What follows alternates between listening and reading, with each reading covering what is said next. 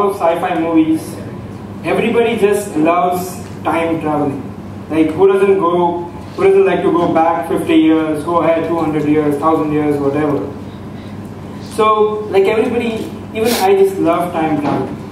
And I was always so, so fascinated by it. It was until this time in my junior college when I was hit with a project, like I had to make a fully working technical project. Know, most of the engineers who are here. I don't know if there are too many who would be relating to it. Like we had to make a project. So when I was going through the idea of uh, what should my project be, the first thing that hit my mind was time machine. Why not go and make a time machine? You know, I was so crazy that I almost saw every movie that had time traveling in it, and that also includes Bollywood movies, and I don't want to name them. Um, this one is from Back to the Future, and you know, most of you have seen this thing. So, and I always think, you know, Back to the Future should be remade, or there should be a sequel to Back to the Future, and they should redo what they were trying to show in 2016. You know, they should show, they should be showing that everybody is just staring at their phones, getting pissed off at nothing. Disney characters becoming presidents of countries, and so, anyways, um, back then I had to use whatever was given to me, and uh, my dad had bought me a Sony PlayStation Portable gaming device from Dubai, and I thought that you know this could be perfect for my time machine. And don't be scared, I was not going to make the car, and I was not going to make a real time machine. I was going to make just a simulation. So I thought that why not just take this PlayStation Portable and stick it onto the viewer's head, close it from all the sides to just give an immersive feeling of floating through the time. I also thought of, you know, using a vibrating chair to give, give the feel of floating through the time. But anyways, my project, and guess what? My, my project just failed miserably and I just don't want to talk about it now. Going ahead, it was in 2015 when I first saw the Oculus Rift virtual reality headset. And I knew this was exactly what I was trying to make. Oculus Rift virtual reality headset. Virtual reality was something that I had never ever heard of before, and it just came from within as a desire to achieve something that was otherwise impossible. And uh, it was the same time when Google came out with Google Cardboard, and uh, my friend Jayesh made a prototype of this. He called me up and said, uh, I need a cap. I said, why? There's, there's no sun out there. I mean, it's winter. So he said, no, just give me a cap and I'm going to make something amazing. So he made this. And it all began over here. So for those who don't know what virtual and augmented reality is, I, I want to ask who, who have actually experienced virtual reality. Please raise, raise your hands.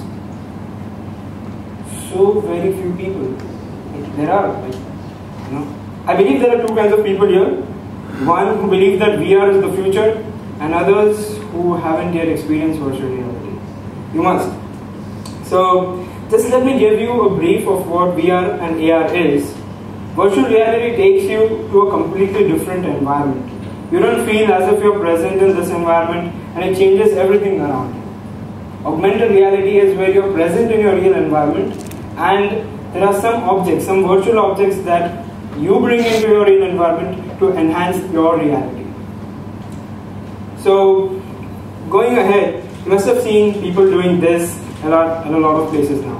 You know, malls and uh, theaters and almost everywhere. Now, what are these people doing? What is all this hype about? Virtual reality, I believe, has an incredible potential to change the way we interact with other technologies. It has this incredible potential to bring about a paradigm shift. Now, if you look at the statistics, almost every company that is into computer technology or entertainment technology is either into virtual reality or augmented reality. So this, this is a two-year-old slide, but there are many, many more companies that are already into this business. And you know, there is an unbelievable future. By 2018, we expect around 180 million users to be there. And by 2022, we expect it to be a 33.4 billion US dollar market. So, what is all this about? And even a lot of people have now said that there is there is a completely new era that is coming up. Post 1980s, there were PCs, the PC era. Post 2007, after the launch of the iPhone, there was the smartphone era. Many people believe that after, after 2016, it's going to be the VR AR era. What is it about? And how is everything going to happen? So, if we see the history of virtual reality, it has evolved from gaming. It is an amazing experience to play games in VR. So, young guys here, uh, just think of playing Counter Strike in VR. You know, just shooting people you don't like. That's just not, not really, but virtually. But that's not it. Playing games in VR is not going to make it a $35 million market or bring about a revolution. It's about the other side. It's on the other side of gaming where we have to look at to leverage its 100% potential. Now, when we talk about the other side of gaming, of VR and AR, many people have already started utilizing these technologies for their marketing, as marketing tools. Now, take for example tourism companies. What they do is they take you to snow-clad mountains, just that, you know, just like this picture shows. They take you above the forests, above the rivers, and everywhere. And then once you've experienced that, just can't resist yourself from actually going there, from actually buying their package. That's how they use it. And uh, I want to give a recent example where Jaguar just recently um, used virtual reality to launch their vehicle. 60 people at a time could virtually test drive their car without a single actual car being there. Isn't that a great idea for a virtual product launch? Well, still, we don't believe that such marketing tool is going to hit the bullseye. It is something that is on the is yet on the other side. Now, for if if we see the history of personal computing, all the big giant computers were first made for scientific research, for medical research, for education, and all those purposes. And this allowed the technology to mature. Over the time, computers became personal computers. Now every house has a computer. And so was the story of the internet era. First it was there with all the big people, and then it came towards everybody. Everybody has now. And so we believe it will be the story of virtual and augmented reality.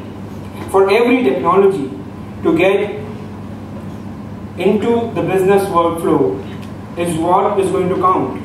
For every technology has to enter the business workflow to make it more compelling rather than just a gimmick.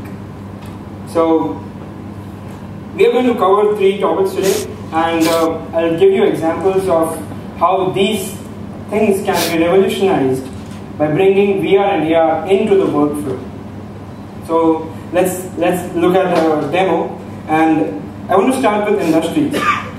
Um, we had a client called Elmac. Now Elmac is a pharma packaging company. What they do is they make machines which their clients use to produce blisters. Blisters carry tablets.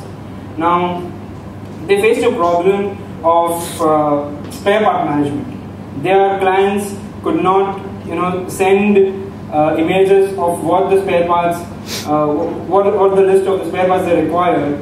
They just used to click pictures of the spare parts and send it to our WhatsApp saying that, okay, we need these spare parts. We sat together and tried to resolve this problem. Let me show you how.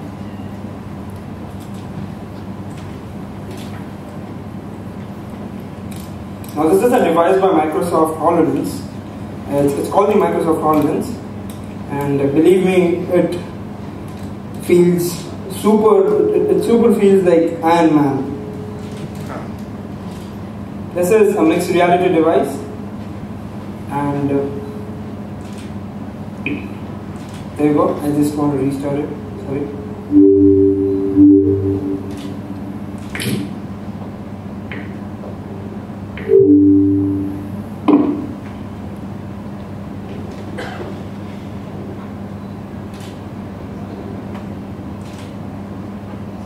Unity is a game development platform which we use to develop amazing content. Now in front of me, you see the forming station of the 3015 Elmac machine.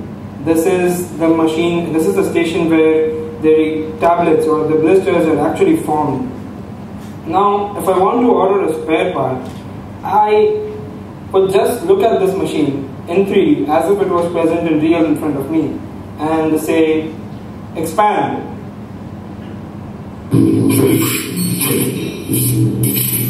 There you go. All the spare parts are here and I wanted information about a spare part. I'm going to look at the spare part and touch it. There you go. It's a vital spare part. Now, what is amazing is that I can order a spare part right from this module. Let's see how. Buy now. Can you see the screen? Okay. So what I'll do is I'll just record a message along with it. Hey there, please send me the spare part. Let's see how it was recorded. Hey there, please send me the spare part. Okay, and I'm going to send this message. Send message. Okay, it took what I said earlier. Alright, so this was the Elmac machine and I'll just restore all the spare parts. Restore. Alright. Now, this was industry. Uh, the second one was healthcare. Let's look at how we can revolutionize healthcare with this kind of technology. Now, on my right, I have few things. What if you have a breakage in your bone and your doctor pulls out the bone out of your body and shows how exactly the damage has been done? Now, what you do is just show you in a way where I have a, a demo of the intercerebral damages.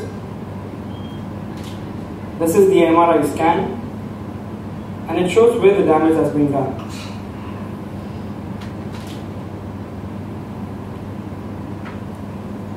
Just see how details are shown on this device.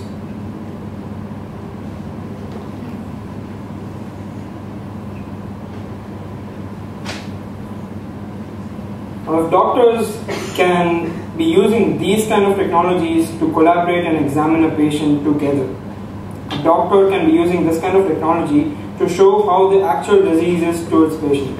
And the patient can then use this technology to locate where the exact problem lies. And then things like meditation therapy can work.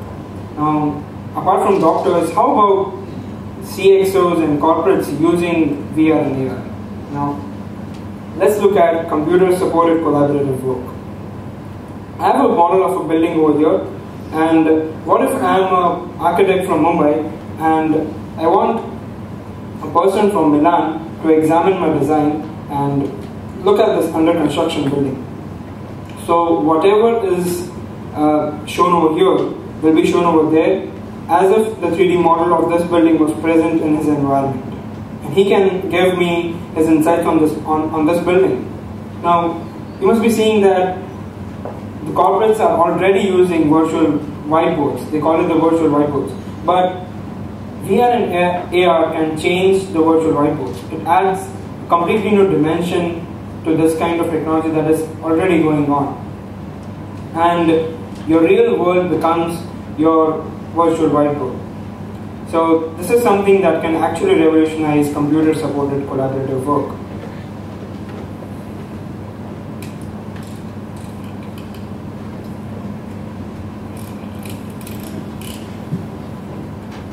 Thank you.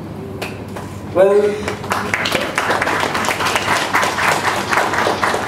before concluding, I would like to say whatever you have seen today would be feeling like it's so futuristic. This guy is just boasting of technologies and he just wants to show what technology can do. But that is not true. Everything that you've seen is possible today. And obviously, we'll have to thank the hardware manufacturers for this thing. And but what we believe is what is going to come in the coming days is the content. The content is going to be the king. The technology is in its very nascent stage these days and it has to be filled with creativity and dedication. And uh, uh, to conclude, I'd just like to share an idea with you guys that every time uh, you look at a technology like virtual reality, augmented reality, IoT, AI, or just anything, just think.